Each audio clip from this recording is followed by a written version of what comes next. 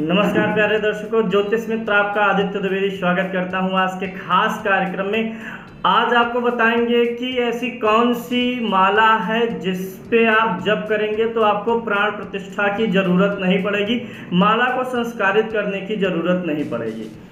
आप रुद्राक्ष की माला से जप करते हैं, अमूमन ज़्यादातर जप रुद्राक्ष की माला से ही होते हैं। और जिस भी देवी देवता की हम साधना करते हैं, जिस भी पावर की हम साधना करते हैं, उसका आवाहन और प्राण प्रतिष्ठा हम उस माला पर करते हैं, उसी को माला का संस्कार कहा जाता है।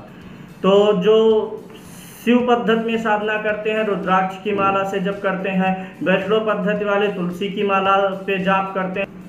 आज हम आपको बताएँगे कि आप अगर यक्षणी साधना कर रहे हैं और अप्सरा साधना कर रहे हैं तो आप ऐसी कौन सी माला का प्रयोग करें कि आपको प्राण प्रतिष्ठा और संस्कार की ज़रूरत ना पड़े? आप रुद्राक्ष की माला का प्रयोग करेंगे तो आपको प्राण प्रतिष्ठा की ज़रूरत पड़ेगी। आप मोतियों की माला मणि की माला मणि जो होती है, रत्न जो होते हैं पत्थरों की माला का प्रयोग करेंगे तो आपको संस्कार की ज़रूरत पड़ेगी। किसी भी साधना में जो यक्षणी से संबंधित है, जो अप्सरा से संबंधित है, जो भूत प्रेत और पिशाचों से संबंधित है, अगर आप स्फटिक की माला से जाप करें तो आपको प्राण प्रतिष्ठा की ज़रूरत नहीं है।